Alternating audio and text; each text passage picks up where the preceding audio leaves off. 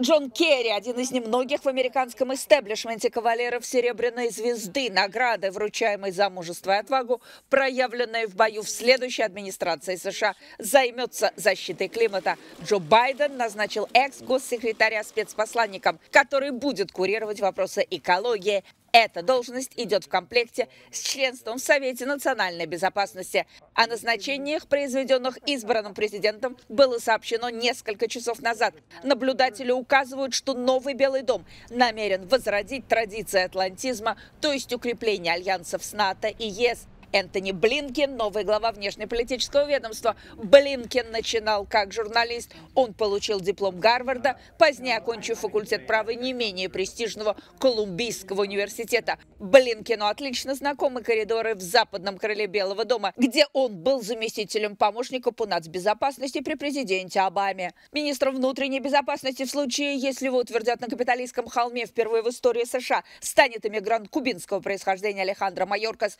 в качестве постпреда ВОН Байден выдвинул кандидатуру Линды Томас Гринфилд. Ведомство национальной разведки должна возглавить 51-летняя Эврил Хейнс. А Дженнет Йеллен, руководитель ФРС, это Центробанк США, переместится в кресло министра финансов, став в случае одобрения Сенатом первой женщиной, занявшей эту должность.